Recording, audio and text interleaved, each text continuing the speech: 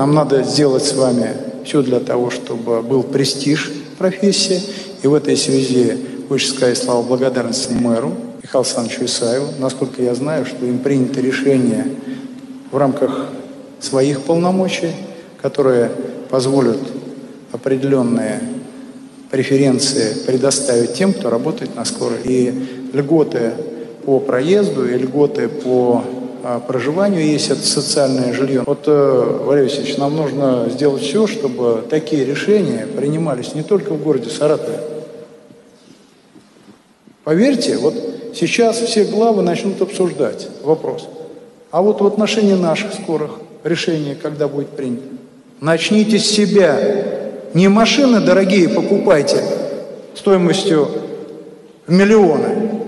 И не объясняйте потом, какая машина вам больше подходит по цвету и по размеру. А начните с того, что делает мэр города Саратова. Это то, что можно сделать и мэру Энгельса, и Балакова, и Вольска, и Балашова. Мэр города отвечает за состояние скорой. Да, здравоохранение – это вопросы полномочий губернатора. Но мэр не может стоять в стороне. Поэтому, Валерий Васильевич, им надо лицом повернуться к скорой. Сегодня все должно быть подчинено спасению жизни людей.